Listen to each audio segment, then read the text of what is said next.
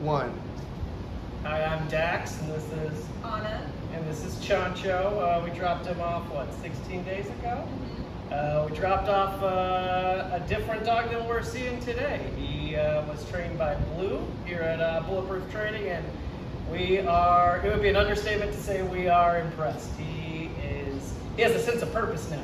So, which I think was maybe our problem with him. He was he was reactive. He was nervous. He was anxious.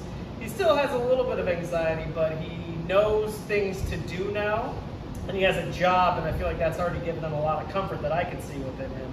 And it's uh, we're really excited to move forward and uh, apply everything he's learned here at home.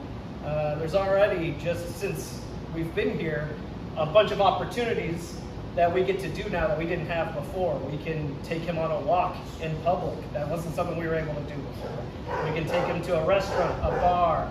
That wasn't something we were able to do before. We can board him if we go out of town or take a flight. We weren't able to do that before. So it really is a game changer for us and for him. And uh, I'm really excited to see what's next for him because this opens a lot more opportunities, like I said, for him to learn more this foundation of training. I can't wait for us both to learn more together.